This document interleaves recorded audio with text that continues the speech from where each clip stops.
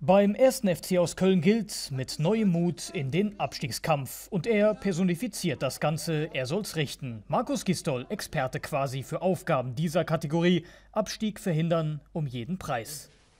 Aber klar ist, dass wir etwas zusammenmixen müssen und finden müssen, wo wir unsere Mannschaft sich wiederfindet. Ja.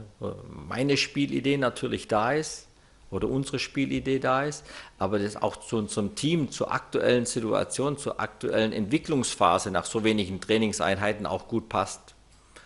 Vielleicht auch den Mut zur Lücke an der einen oder anderen Stelle zu haben und zu sagen, okay, komm, sind wir das schon so frech, probieren wir das oder das gleichzeitig aber dadurch nicht Sicherheit zu verlieren. Spiel 1 auf dem FC-Trainerstuhl bei RB Leipzig. Seines Zeichens Tabellenzweiter und alles andere als ein Aufbaugegner für den gebeutelten Aufsteiger auf dem 17. Tabellenplatz.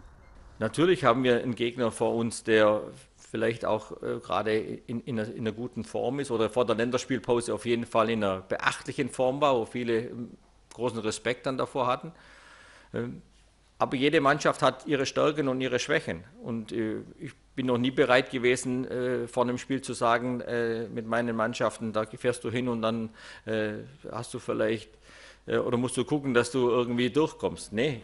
Markus Gistols Spiel 1 im Rennen gegen den Abstieg. Zum Glück kein ungewohntes Metier für den neuen Trainer des ersten FC Köln.